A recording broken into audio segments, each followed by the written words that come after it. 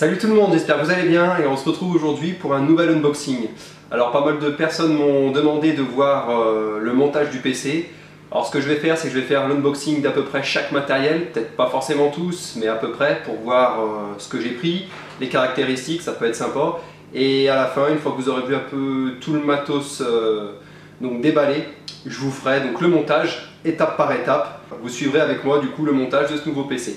Allez, sans plus attendre, on déballe la carte mère. Et alors, une demande que j'ai pu voir de certaines personnes, c'était euh, peut-être d'aller un peu plus loin dans les caractéristiques. Ce que je ne voulais pas faire au début sur ma chaîne, je voulais quand même rester très simple.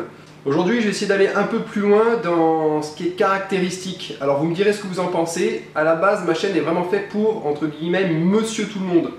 Donc après, euh, bah, monsieur tout le monde, ça va de quelqu'un qui est totalement novice à quelqu'un qui est un peu plus expert en la matière. Euh, dans mes abonnés, j'ai de tout. Hein. J'ai des gens qui ne s'y connaissent absolument pas, mais qui aiment bien.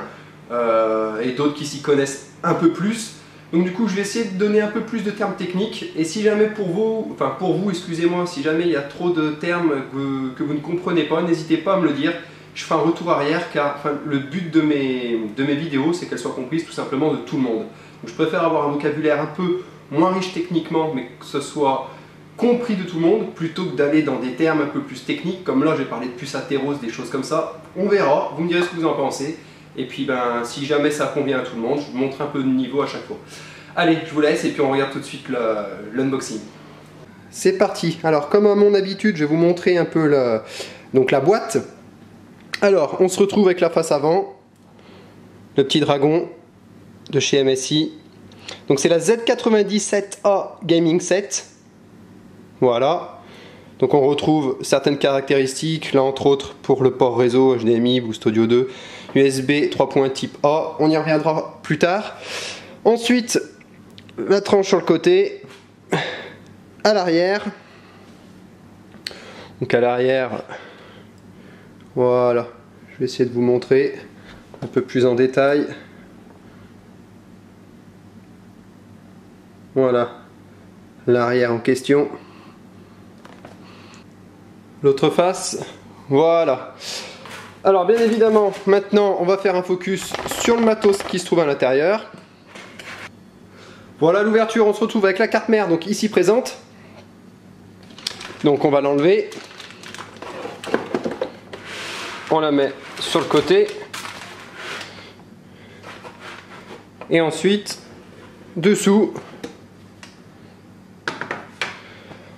Donc on a tous les éléments du bundle. Alors ce que je fais, c'est que je vais les enlever un à un et ensuite je vous présenterai dans la globalité tout ce que l'on a. Donc dans le bundle, on se retrouve avec les choses suivantes. La carte mère, bien évidemment. On a également manuel d'utilisateur, un DVD donc avec euh, dessus les pilotes et tout ce qui est utilitaire, on a un pont SLI, on a deux câbles SATA 4, 4 câbles SATA 3, deux câbles SATA 3 droit et deux câbles SATA 3 euh, coudés. 90 degrés. On a également la plaque arrière. On a donc euh, un accroche-porte, un adaptateur donc d'alimentation audio. On a aussi des câbles, alors je sais pas combien, 1, 2, 3, 4, 5, 6, 6 câbles donc pour mesurer la tension.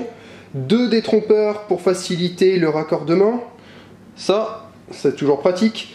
On a un autocollant euh, ici, donc l'autocollant MSI pour mettre euh, sur le boîtier en règle générale. Personnellement, je ne le mettrai pas. Et on a aussi euh, des autocollants pour tout ce qui est câble. Ça, qui peut être pratique pour les gens qui ne savent pas trop. Enfin, pour ceux qui font pas forcément un bon câble management pour se dire, bah tiens, ça c'est pour les SSD, ça c'est pour telle chose, ça c'est pour telle chose. Donc ça peut être pratique. Voilà en ce qui concerne le bundle. Voilà. Alors au niveau de la carte mère, que dire? Donc on est sur un socket donc LGA 1150. Euh, le chipset c'est l'Intel Z97. On se retrouve avec 4 slots mémoire DDR3, donc sur un maximum euh, possible de 32 Go, et ce en DDR3 3300. Voilà, au niveau des slots d'extension, on se retrouve avec 3 PCI Express 3.0 16X. Hop là, vous les voyez ici. Ensuite, on a 4 ports PCI Express 2.0. Là, là, là et là. Voilà, en ce qui concerne donc les ports SATA, on en a, euh, donc on a 6 SATA 3 natifs. Vous les voyez ici, à l'arrière ils sont numérotés. On les voit SATA 1, 2, 3, 4, 5, 6. Et vous me direz, il y a aussi le 7, 8, c'est normal. Ce sont deux SATA 3 via ASM 1061. Ici, au niveau du LAN, on a un port killer E2205 au niveau de l'audio, on est sur une puce Realtek ALC 1150 et là vous pouvez voir ici en fait des ports USB euh, dédiés à l'audio. En fait, je reviendrai plus tard, mais tout simplement parce qu'ils sont alimentés en 5 volts. Au niveau du nombre de ports USB, donc deux ports USB 3.1, 2 USB 2.0 et 6 ports USB 3.0. Donc ça fait un total de 10. Et ce qui est vraiment appréciable, ce sont les USB 3.1. J'y reviendrai tout à l'heure niveau caractéristiques, comme je vous ai dit on va vraiment rentrer plus dans le détail et je vais donner pas mal d'informations. Et on a donc également donc, tout ce qui est sortie audio, j'y reviendrai tout à l'heure parce que c'est très important, surtout la rouge, là il y a quelque chose euh, de spécifique. Euh, on a également donc deux ports HDMI que vous avez et là et là, et ici un DisplayPort. On remarquera également des détails, la carte mère a été particulièrement travaillée, on peut voir ici la petite donc griffe, le dragon estampillé là. On le retrouve également sur le côté. Donc euh, c'est vraiment voilà, vraiment sobre, c'est vraiment propre. Sans trop en faire, on est quand même sur une carte mère euh, gaming, mais on sent quand même la volonté de pas trop vouloir en faire pour pas que ce soit trop euh, trop tape à l'œil. Donc c'est vrai, c'est une carte mère qui est assez sobre. On reste dans le noir avec des rappels de rouge. Ici, on peut le voir, des rappels de rouge qui sont très propres, très bien, très bien faits, et on reste vraiment dans les tons noir et rouge. On marquera donc également euh, l'isolation du PCB audio. Vous voyez, donc ça c'est quand même euh, assez sympa et en plus il s'illumine en rouge lorsque la carte elle est sous tension. Euh, vous avez aussi le logo de la marque donc sur le dissipateur du Southbridge qui est éclairé en blanc. Tac, on le voit là. On marquera ici un port M2 donc qui se trouve entre deux slots PCI Express 16X. Alors c'est sympa parce qu'on peut mettre une carte graphique ici, une autre carte graphique là et euh, vous voyez, là vous avez la place pour mettre tout simplement votre, euh, SSD de type M2. Alors, je vais vous montrer ça rapidement. Voilà, j'en ai pris un, il est là, il n'est pas déballé, donc ce sera l'occasion de faire un montage assez sympa avec un petit euh, SSD de type M2 qui viendra tout simplement se mettre là où je mettrai mon OS et puis toutes les choses plus ou moins obligatoires du système Windows et puis du programme Files. Voilà. Voilà, en fait, il faut savoir que ce port M2, vu qu'on en parle, il est euh, connecté directement au chipset via deux lignes euh, PCI Express 2.0. Donc on a une bande passante maximum de 10 gigabits. Bon, ça c'est, euh, ça vous le savez, hein, c'est la nouveauté en fait de, de ce type de, de port M2.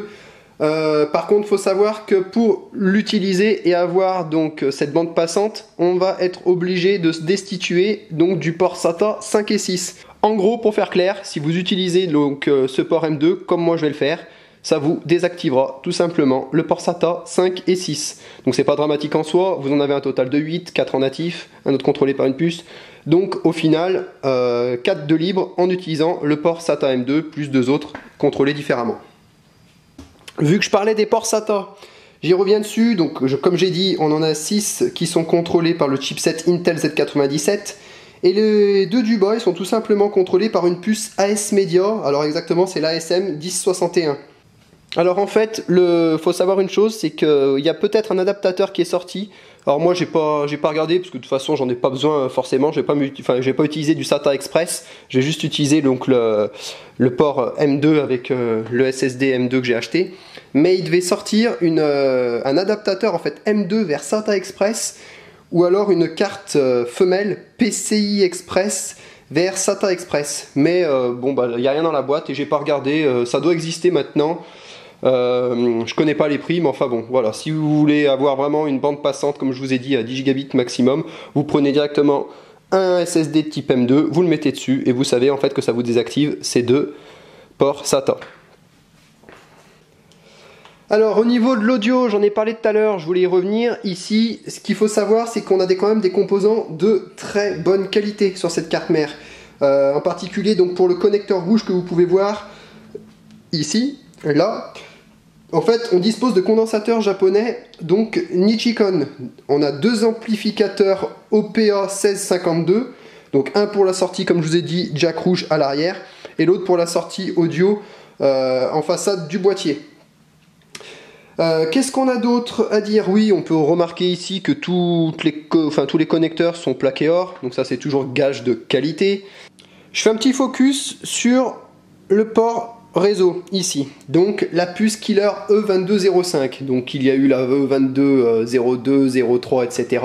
Qu'est-ce que c'est qu'en fait cette puce E-Killer? C'est tout simplement, en gros, si vous préférez, euh, une puce Atheros. Donc une puce Atheros je pense que pas mal de personnes connaissent, tous ceux qui, viennent fouiller un peu dans leur euh, périphérique réseau sur l'ordinateur.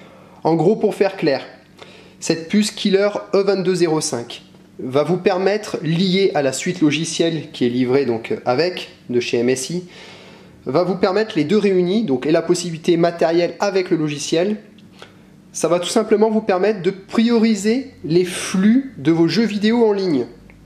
Un exemple tout bête, vous avez des fenêtres, des fenêtres euh, web ouvertes avec euh, des, plusieurs onglets, euh, des pages YouTube ou des pages avec des, flux vidéo ou autres.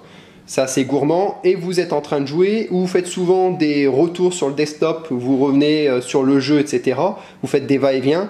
Et en fait, cette puce-là va être intelligente liée à la suite logicielle et vous permettre de prioriser votre trafic de jeux en ligne. Par contre, ce qu'il faut savoir, c'est que la suite logicielle est assez gourmande.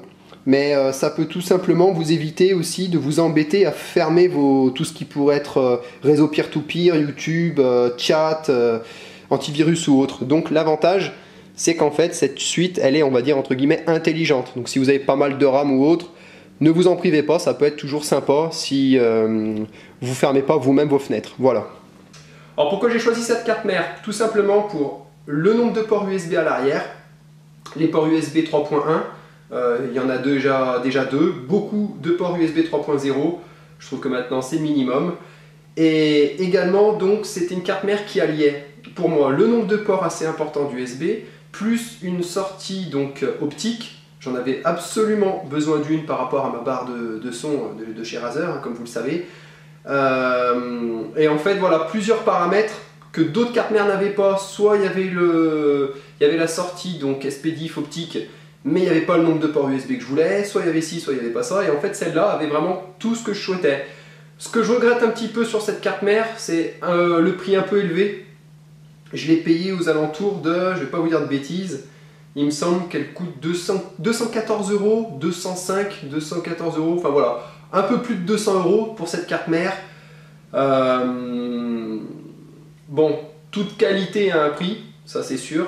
C'est un produit de qualité. Il faut jamais négliger la carte mère aussi dans un, ordinateur. Je vais rien vous apprendre à ce niveau-là. Mais par contre, c'est vrai qu'elle est quand même assez chère. Voilà. Euh, sinon, par contre, bah, elle est belle, hein. elle, est, quand même assez classe. Je regrette aussi qu'il n'y ait pas les, des distributeurs ou autres de couleur vert, ou alors tout simplement que noir pour aller avec ma tour. Mais je verrai peut-être par la suite faire deux trois choses. En tout cas, voilà, je suis vraiment satisfait de cet achat. On verra bien évidemment après au montage, mais bon, je connais les produits MSI, c'est quand même euh, de la qualité. Donc voilà pour cette présentation de carte mère. On verra donc la suite du montage prochainement. Je vais vous montrer deux, trois autres choses que j'ai achetées et on fera le, montage ensuite en direct une fois que je vous aurai montré deux trois unboxings de plus. Alors peut-être pas deux trois, mais euh, euh, deux, ouais, deux unboxings. Je vais vous présenter l'alimentation qui est sympa, celle que j'ai prise, elle est pas mal. Euh, également, je vous montrerai très rapidement, ce sera une vidéo qui sera vraiment très rapide, peut-être de 3-4 minutes, tout simplement le petit disque dur que j'ai euh, pris dernièrement, qui se monte donc euh, sur le port M2. Voilà, donc c'est tout pour aujourd'hui, on se retrouve très prochainement, bientôt. Et alors la semaine prochaine, début de la semaine, il n'y aura pas une vidéo, mais j'essaierai d'en faire deux vidéos pour essayer d'accélérer un peu la chose, pour vous montrer le plus rapidement possible le montage de l'ordinateur, surtout que pour moi, euh, je suis impatient de le monter parce que pendant ce temps, pendant que je fais mes vidéos, en fait, l'ordinateur n'est toujours pas monté, donc je ne peux pas en profiter. Voilà. Je vous laisse, je vous souhaite une excellente soirée, je vous dis à très bientôt. Ciao